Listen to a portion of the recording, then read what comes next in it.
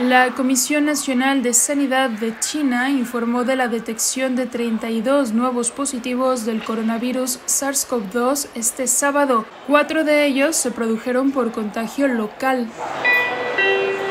Estos cuatro contagios locales se localizaron en la municipalidad de Shanghái y en la también oriental provincia de Jiangsu, foco del último pequeño rebrote en el país asiático. En lo que respecta a los 28 casos restantes, se les diagnosticaron a viajeros procedentes del extranjero en las municipalidades de Shanghái, Pekín y Tianjin y en las provincias de Yunnan, Cantón, Hubei, Henan y Sichuan. Las autoridades sanitarias también informaron de la detección de 19 nuevas infecciones asintomáticas, aunque Pekín no las computa como casos confirmados a menos que manifiesten síntomas. De este modo, el número total de contagiados activos en la China continental se situó en 1.748.